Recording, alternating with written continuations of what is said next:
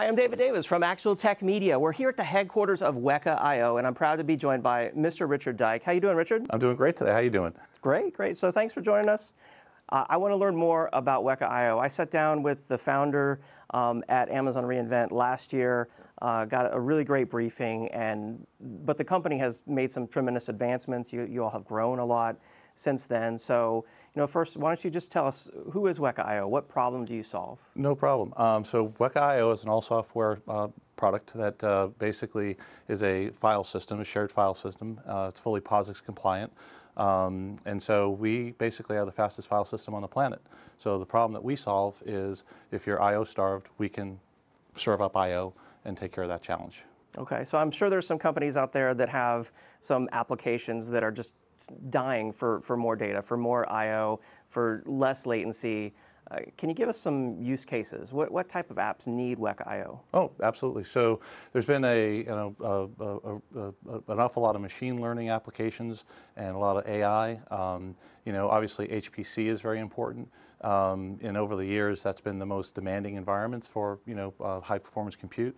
But what you're seeing today is that you know it's very commonplace in the commercial industry. They just it's changed to be AI and machine learning, right? You're, anybody's out there um, trying to train data um, and do say autonomous cars or autonomous trucks or um, autonomous boats. I mean, there's an awful lot of you know uh, interaction that you need to be able to in scenarios that you have to be able to figure out. So you have a pipeline of data that has an awful lot of information that you're trying to stage, then you're trying to clean that data, and then in the pipeline you usually have a GPU cluster uh, with the data scientists kind of going after and attacking the training of that data. That's the intelligence of it, so that it can think for itself in the difficult situations. Um, that's probably the most I/O intensive application that we see, um, and an area that we've done very well in. And so we see a lot of traction in that space. Okay, okay. So let's say that I'm an IT administrator, I have an application like you talked about there, one of those applications that needs massive amounts of data throughput. Does this, does this file system run on premises? Does it run in the cloud?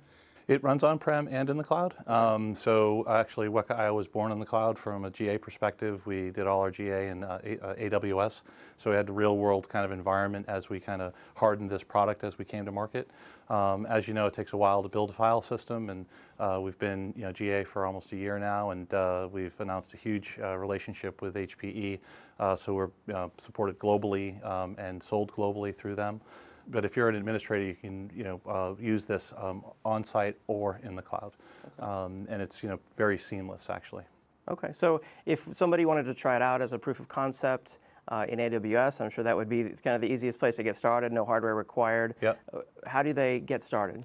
So you're actually able to go to start.weka.io, okay. and um, you can go right to that website, and you can start to go through this formation template, um, and you can pick the requirements that you need for I/O and for uh, throughput.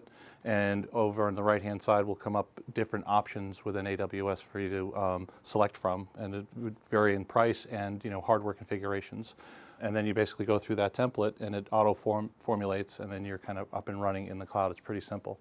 And we can be found on the AWS Marketplace. Okay, so start.weka.io. Correct. And I mean, the great thing I love about that is for a proof of concept, you can try out the fastest file system on the planet for you know, probably a few bucks exactly. Um, in AWS, you know, EC2 expenses there.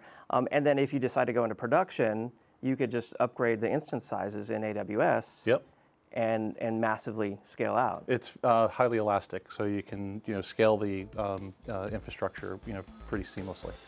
Excellent. Yeah. Well, thanks for your time today, Rich. All right, thank you. Appreciate it.